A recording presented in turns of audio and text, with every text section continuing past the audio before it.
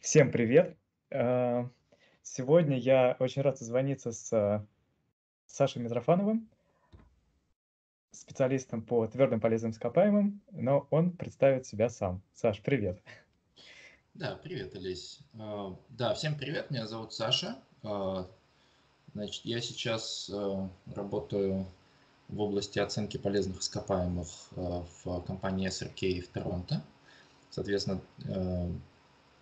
и, соответственно, также преподаю в университете Торонто тот же самый курс, в принципе.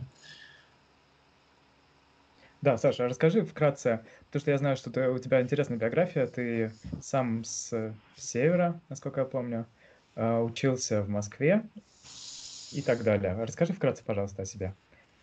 Ну, вообще изначально, да, я из апатитов, то есть я из Мурманской области, соответственно, оба моих родителя это геологи, они работают, значит, отец уже, к сожалению, скончался пять лет назад, а мама все еще работает в институте, э, в геологическом институте в апатитах, геохронологом, соответственно.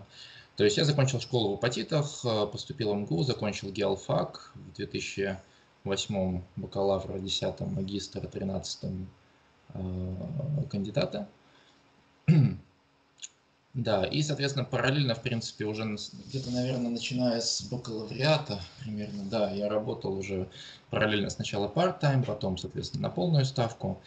Значит, в 2015 году, соответственно, я переехал а, в Швецию и тоже работал в области оценки полезных ископаемых. И в 2006, не, наверное, да, в 2016 году мы переехали в Торонто, где, в принципе, и живем сейчас. По большому счету, всю свою профессиональную карьеру, начиная, наверное, с университета, я всегда занимался вещами, которые связаны с э, оценками месторождений. То есть, по большому счету, каждый раз, когда происходит разведка полезных ископаемых, соответственно, бурятся скважины, собирается информация, потом все вот человек, который собирает это все вместе, соответственно, делает геологическую модель и оценивает э, значит, ресурсы полезного ископаемого, в России это называется запасы, за рубежом это называется ресурсы.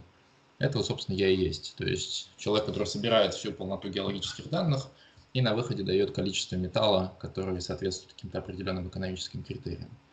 Но вот, в 2017 году я сделал пару таких общеобразовательных лекций в UFT, то есть это университет Торонто, по поводу того, а, как, скажем так, студент может подготовиться к карьере в геологической и горной индустрии. И после этого, соответственно, я разработал небольшой бесплатный курс по моделированию, и после этого мне предложили а, сделать курс по оценке ресурсов, который, в принципе, я сейчас буду проводить уже третий год подряд. Красота. Да, ну, вот это вот как-то вкратце, да. Да, сейчас попробуем детально по, этим, по этим пунктам пройтись.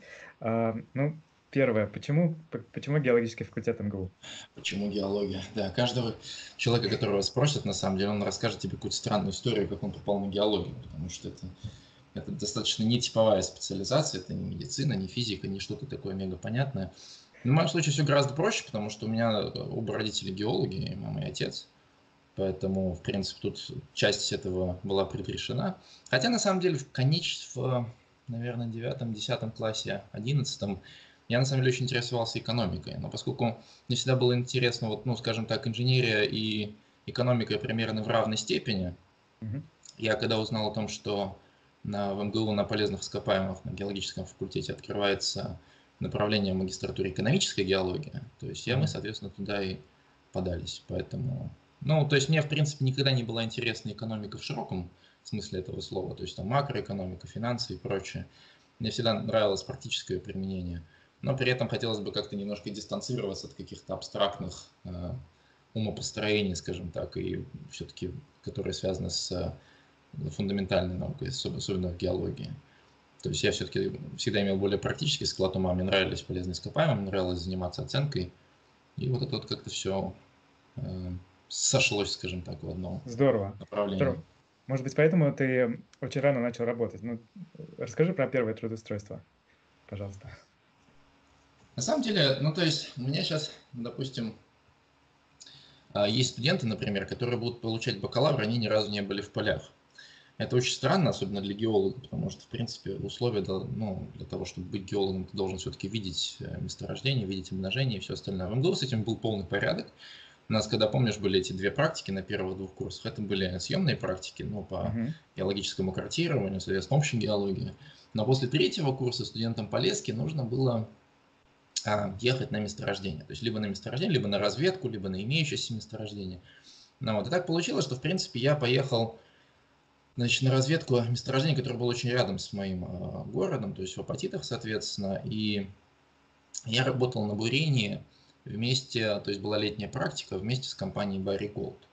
Соответственно, потом, когда я вернулся обратно, я очень хотел заниматься моделированием, мне было очень интересно это сделать для бакалаврской работы. Я пришел, в принципе, в Барик, попросил у них, значит, эти данные для моделирования по экономике, ну, то есть данные по... А поскольку они, ну, в общем, как бы секретные, собственность компании, я предложил как бы взамен работать бесплатно. То есть в итоге я работал, по-моему, пару месяцев, где-то три дня в неделю, я приходил просто после университета, то есть там часа где-то в 2-3, и до вечера работал.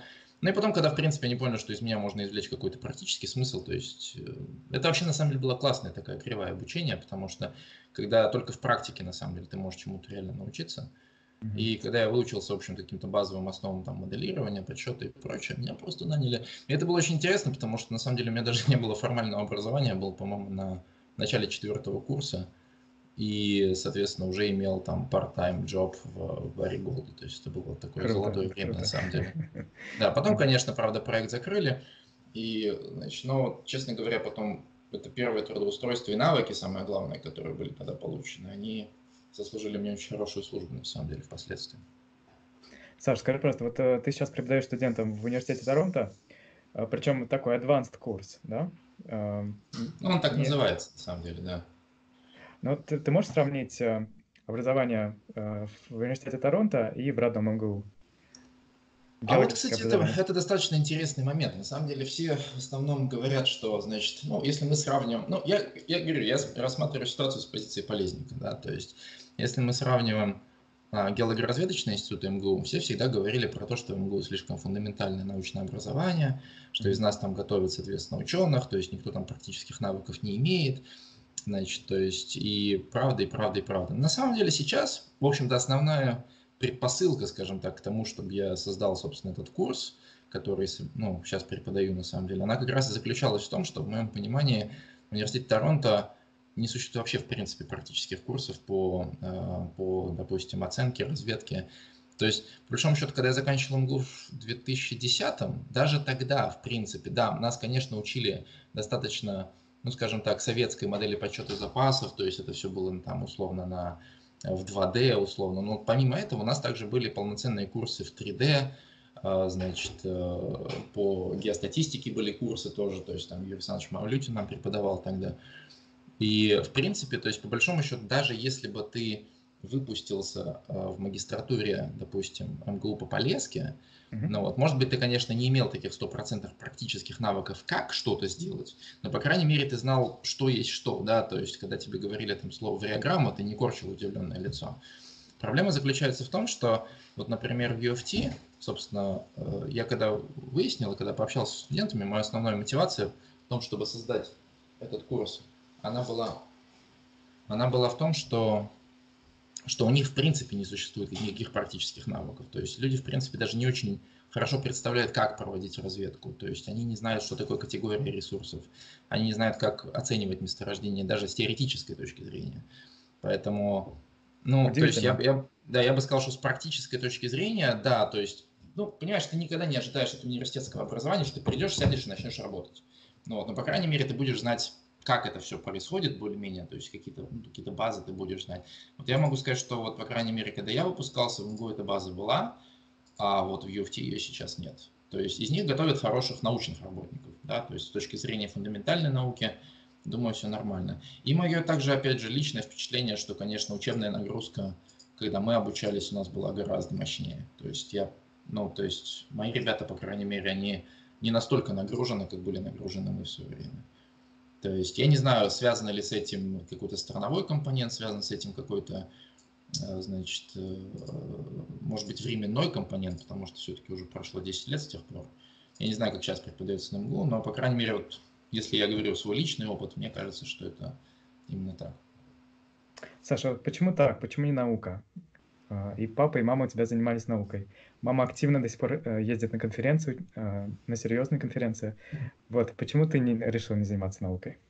Ну, это диалог, который я с своими родителями вел на протяжении всей своей жизни. Ну, существует две основные причины. Значит, первая заключается в том, что, во-первых, я человек очень практического склада ума, то есть я не люблю умозрительного построения, не люблю большое количество индуктивных обобщений, и мне тяжело делать большое количество выводов на очень небольшом количестве информации и потом дискутировать с коллегами на, скажем так, то есть которые сделали какие-то другие выводы из этой же самой информации. Uh-huh. Ну, это первое. А вторая причина, она гораздо более прозаическая, это просто низкий уровень э, оплаты фундаментальной науки в России. Вот и все. То есть если бы я, скажем так, был вырос и воспитан, возможно, в каком-то более западном обществе, возможно, та же самая Канада, Штаты, UK, может быть, Австралия и прочее, возможно, я бы выбрал научный путь тоже. Хотя, исходя из того, что я знаю, на самом деле здесь наука тоже, она очень сильно бюрократизирована и по большому счету превращается в гонку за финансирование. То есть она, ну, скажем так, административный компонент в ней достаточно большой. Я, например, сравниваю, э, допустим, в своей собственной работе, скажем так, процент креативной работы, которую я совершаю, по сравнению с процентом административной работы, с которой мне приходится сталкиваться. И думаю, что эта пропорция составляет примерно 70 к 30, в то время как, я думаю, в любом научном институте это может быть ближе к 50 на 50, может быть даже хуже. Но, поэтому, собственно, вот, да, как ни странно, практическое, практическое приложение, особенно вот в той области, в которой я работаю, она имеет... Ну, Дает больше творчества, да? Ну, скажем так, да, у меня по ощущению просто это так и получается. То есть, по крайней мере, я могу просто сказать, что в значительной степени оценка месторождения, ее интерпретация, то есть каким образом ты это, ну, это работа и этот процесс, он имеет значительно большую творческую компоненту, чем может показаться на самом деле. Интересно. Слушай, ну, э, геолог, расскажи про поля. Любовь геологу, конечно, спрашивают о, об интересных полях, и они у тебя наверняка были. На самом деле, э, поскольку ну, я работаю в оценке ресурсов, да, то есть по большому счету обычно наше посещение месторождений, оно сводится к там нескольким дням по большому счету, и обычно это уже достаточно э, детальная область разведки, то есть в принципе эти поля зачастую бывают не очень интересные. А, но это просто бывают очень интересные места. То есть, и ты, поскольку работаешь, если работаешь в консалтинге, ты на самом деле даже не знаешь, что тебе предстоит зачастую. То есть, например, неделю назад я узнал, что на следующей неделе я лечу в Китай. Ну, mm-hmm. вот. а, так, в принципе, из интересных полей в свое время, когда я был в 2009 еще в Барике, я, мне устроили такую небольшую а, практику шестинедельную в Папуа-Новой Гвинеи. Вот. И несмотря на то, что звучит это достаточно романтично и интересно, это было на самом деле одно из самых ужасных и тяжелых полей, которые были в моей жизни. То есть это была ранняя стадия значит, поисков, это была геохимическая съемка, то есть по большому счету это сводится к тому, что ты выкапываешь яму, из нее отбираешь там 5-6 килограмм почвы, и потом mm-hmm. эти там, ну хорошо, может не 5-6 килограмм, там 1-2 килограмма, потом эти 1-2 килограмма, там несколько проб, там, ну может быть в совокупности 10 проб, то есть 10-15 килограмм, ты благополучно тащишь э, в лагерь. Ну, вот, но все это выполняется в джунглях при плюс 40 жаре с стопроцентной влажностью и по таким горам, на которых просто можно очень легко переломать ноги. То есть, в принципе, это было достаточно тяжелое поле. Ну, вот. Но так, конечно, это интересная все равно работа, потому что количество мест, в которых ты побывал, оно достаточно большое. То есть, если сразу на ум, например, приходит, я уже там за несколько лет был там в Аляске, например, часто бывал в Латинской Америке, это в торонтовский период. Ого. Когда в России работал, я тоже в СРК, в СРК работал, я был в Норильске, э, в Благовещенске, то есть, э, ну, да, интересно, конечно. Да. Саш, а что бы ты а, посоветовал, и вот что ты советуешь сейчас своим канадским студентам, а, и, может быть, что ты посоветуешь молодым ребятам в России в плане карьеры, построения интересной, да, трудоустройства? Ну, тут, на самом деле, надо просто понять, о ком мы говорим. Да, если мы говорим о студентах, которые уже связаны каким-то образом с геологией. Давай разделим, то, да. Что, да, то, что, то, что я, курсов то, геологических да, факультетов. То, что я студентам своим говорю всегда, на самом деле, предлагайте работать бесплатно, потому что в действительности, если вы поставите себя на место работодателя, ответить на вопрос, зачем вам нужно платить, это очень тяжело. То есть, по большому счету, человек приходит без каких-то практических навыков, которые может продать, и, соответственно, э, ожидает, что за это ему будут платить деньги, это странно. На самом деле, это очень хорошая вещь, она очень хорошо работает, ты практически учишься бесплатно и учишься за опыт, а, то есть, и это достаточно э, хорошо, на самом деле, то есть, в принципе. И стараться, ну, естественно, конечно, надо расширять свой кругозор не только с точки зрения если мы говорим, допустим, про российских студентов, существует еще весь мир вокруг, то есть, в принципе, стоит расширять свой кругозор о том, как то, чем вы занимаетесь конкретно, ваши методы, ваши направления исследований или направления практической деятельности, как это делается вообще в мире, то есть какие есть плюсы и минусы а, во всем. То есть, и, соответственно, нужно не зацикливаться, скажем так, вот в пределах своего какого-то набора знаний, а стараться просто охватить как можно более широкий. То есть ездить на международные конференции, если в науке, то есть получить, может быть, какое-то разное трудоустройство в разных точках планеты, чтобы иметь представление о том, как то, что вам интересно, осуществляется в, во всем мире.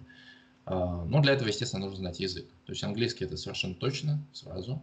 В принципе, ну, испанский тоже, в принципе, подойдет, но английский это, конечно, главный язык в этом плане. А Ты если говоришь мы... на испанском, да? Ну, я, я чуть-чуть начал учить, на самом деле, у нас много испаноговорящих коллег. На самом деле, изучение языков хорошо развивает голову, то есть я выяснил, в принципе. То есть как хобби это вполне себе а, оправдывает, да, да. Так что, а если, ну да, да, а если мы говорим про совсем а, молодых студентов, которые еще не знают, определились ли они правильно с карьерой или нет, это, конечно, тут совет будет просто, что надо постараться по максимуму себе не врать. То есть если вы, если вы, допустим, выбрали для себя инженерную специализацию, а все, что вы хотите, допустим, например, рисовать комиксы, ну, к примеру, то что-то явно не так на самом деле.